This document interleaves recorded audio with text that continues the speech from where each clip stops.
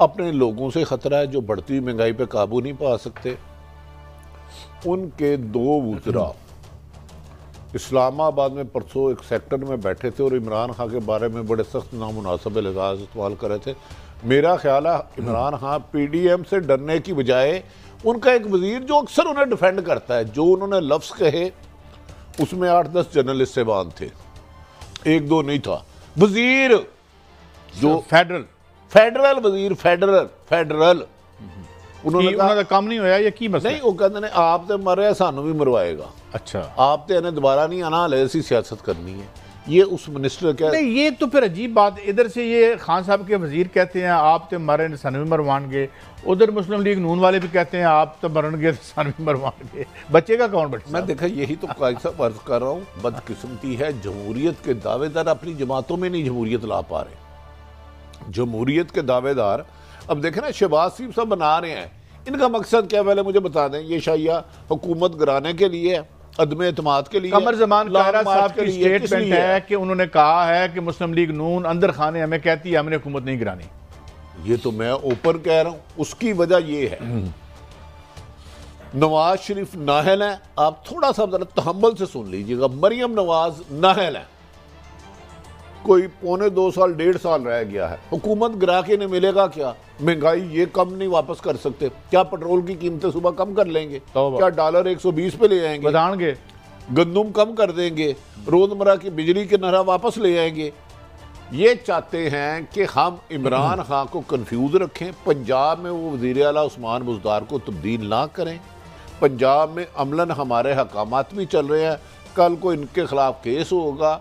और इस दौरान मरियम नवाज़ की सिर्फ़ इतनी ज़िम्मेदारी है कि वो खामोश रहेगी इस्टेब्लिशमेंट को जेर नहीं करेगी और शबाज शरीफ मुलाकातें करते रहेंगे। अदम अतमाद के नंबर पूरे हो चुके हैं। मैं आपको ये कह रहा हूँ अदम अतमाद पंजाब में कमो बेशतर बाईस नंबर ज़्यादा हैं इनके पास। अपोजिशन के पास। हाँ। अपोजिशन के पास 22 22 टू टू टू।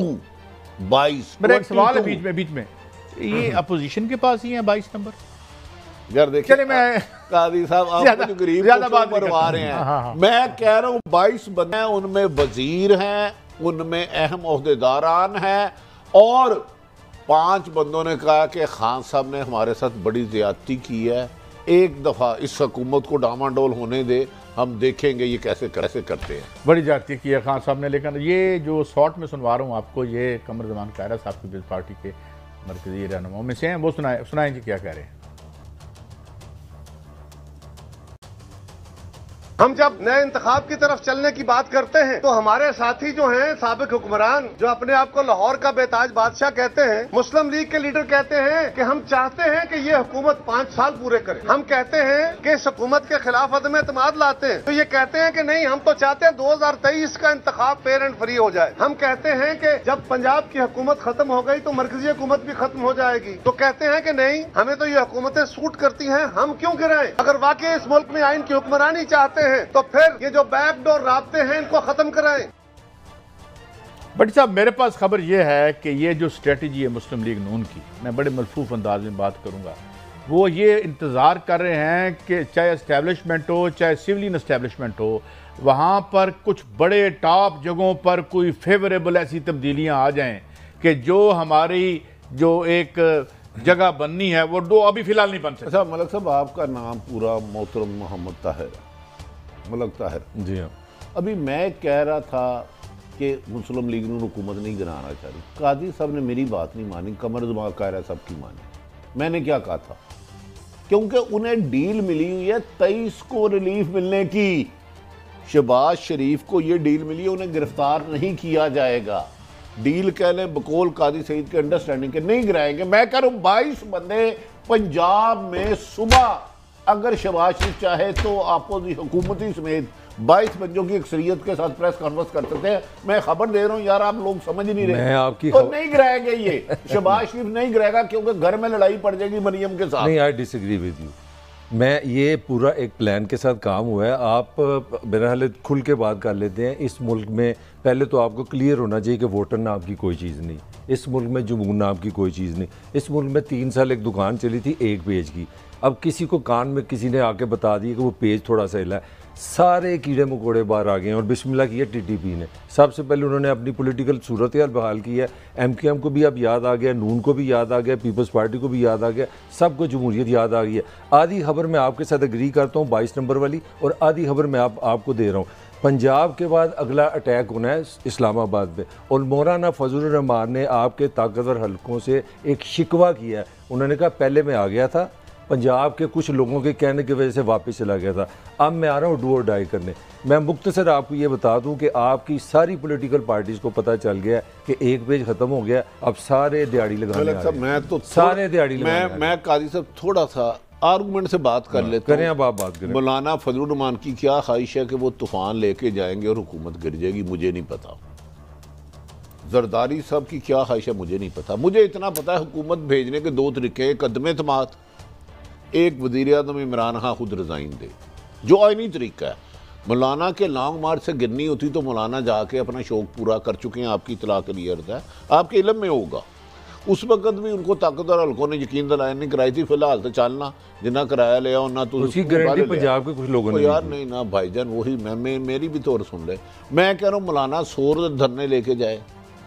मौलाना एक हज़ार एक लॉन्ग मार्च करे।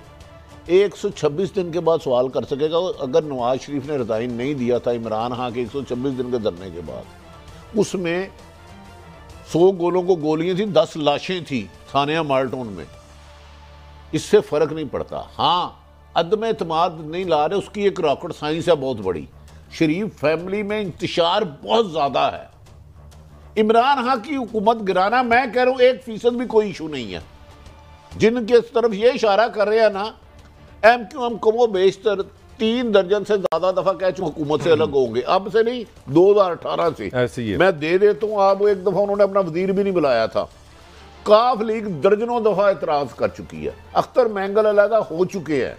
बाप है वो भी किसी वक्त हो सकती है। लेकिन जो जब चाहेंगे वो पंद्रह मिनट की गेम है। वो ये इमरान खान की हुकूमत नहीं है भाई। बिसाखियों पे गड़ियाँ नहीं, एक और खबर मैं आपको मैं नवाज़ शरीफ को कोट करने लगा। आप फरमाते हैं ना जी कि उन पे क्रॉ- पे क्रॉस लग गया। आप फरमाते हैं ना जी मरीम की कहानी खत्म हो गई। नवाज़ शरीफ पे क्रॉस लग गया।